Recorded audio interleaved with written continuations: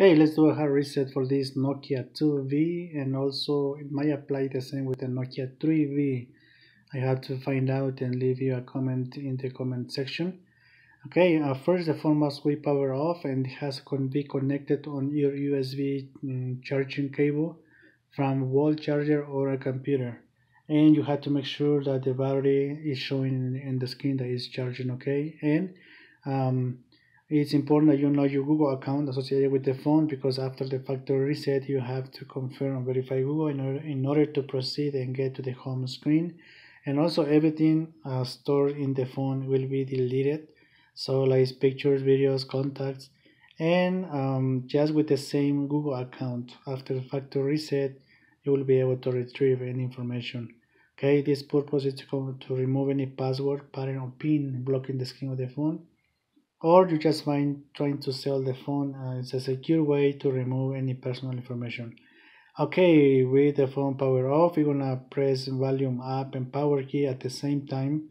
And uh, um, after the android logo appears uh, gonna keep continue holding and, until we wanna get the uh, green uh, robot uh, android. They wanna release both keys okay?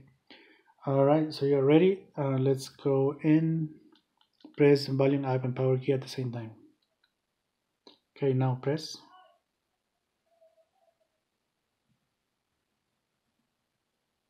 Okay continue holding both keys.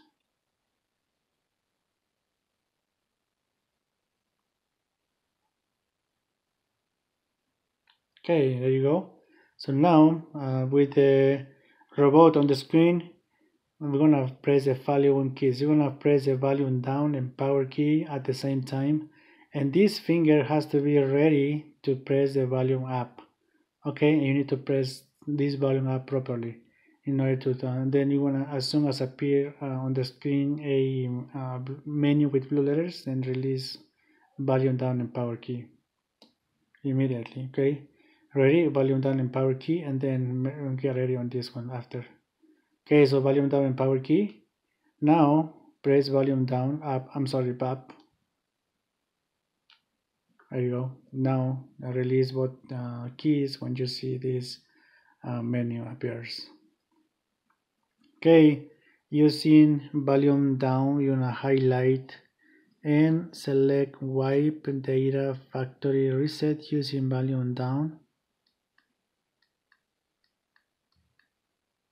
wipe data factory reset press the power key is going to be your enter ok.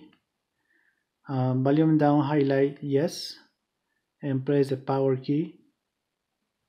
And this is to make sure that you know your Google account associated with the phone like I said before because after the factory reset you had to confirm and verify Google in order to proceed and get to the home screen okay so make sure that you know that information and uh, you agree with this? Just press the power key. And here the phone will start uh, deleting and formatting phone. Just press power key when reboot system automatically is highlighted and then it is done.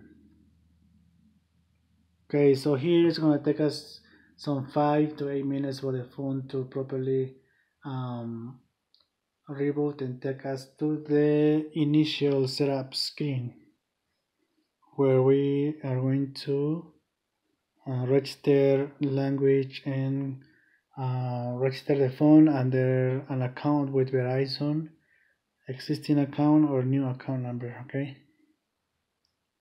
So just saying there it's gonna take a five to ten minutes okay just in case that uh, this takes longer than five minutes or eight minutes that means something is wrong with the phone.